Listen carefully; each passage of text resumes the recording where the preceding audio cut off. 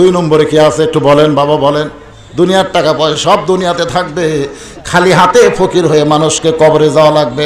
আমার মা বোনের কাছে আপনারা গামছা পাঠায় দিবেন ব্যাগ পাঠায় দিবেন বিশ্বস্ত লোককে মা বোনদের কাছে। মোহাম্মদ মহসেন আলী পাঁচ হাজার টাকা দান করবে। আল্লাহ মহসেন আলীর দানকে আল্লাহ আপনি কবুল করেন। বাংলাদেশে একজন ছোটবেলা থেকে একজন দাতার নাম আমরা শুনতাম হাজি মোহাম্মদ মহসেন। যার টাকা দিয়ে বৃত্তি দেওয়া হতো। সে মহসিনের নামে নাম মহসিন, পাঁচ হাজার টাকা দান করবে আল্লাহ। তাকে দাতার মধ্যে কবুল করো যেরকম আমিন। সবাই বলে একটু আল্লাহ আমিন। পাঁচ নম্বর আর কে, দুই, তিন নম্বরে কে আছেন? পাঁচ হাজার টাকা, একটু বলেন। বলেন, দুনিয়াতে টাকা পয়সা, সব ঠিক যাবেন। বিল্ডিং বাড়ি করতেছেন, এগুলো কিছুই নিয়ে যাওয়া যাবে না। কিন্তু যেদিন ডাক পড়িবে, কবর মাঝে যাইতে জোগাড় কিছু করছ, বন্ধু, তার মাঝে বিষাইতে। যে কোনো সময় কবরের ডাক পড়া যাবে, যে কোনো সময়।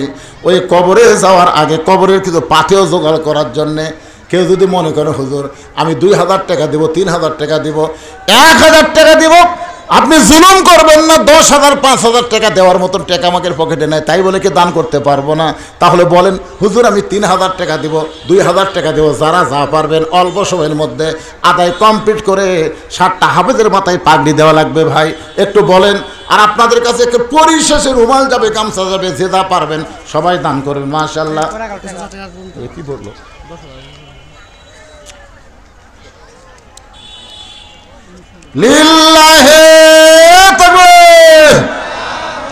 মোহাম্মদ হাফিজুর রহমান নগদ দশ হাজার টাকা করে বলেন, মারহাবা!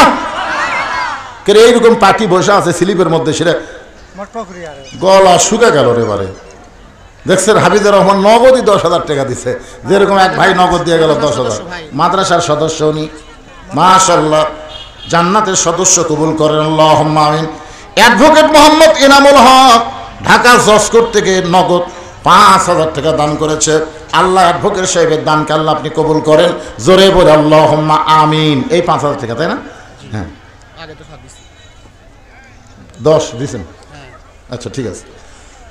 এই দেন দেন দেন এক হাজার দুই হাজার পাঁচ হাজার যাই দা পারেন বলেন। আল্লাহ রস্তে বলেন। নগদ যদি না থাকে বাকি রেখে দেন। বলেন বাজান মাত্র সাত দান করা লাগবে না বলেন সবাই বলেন। একটু সাহস করে বলেন। যে আবাদ করতেছি ধান আবাদ করবেন গম তুলে আবাদ করবেন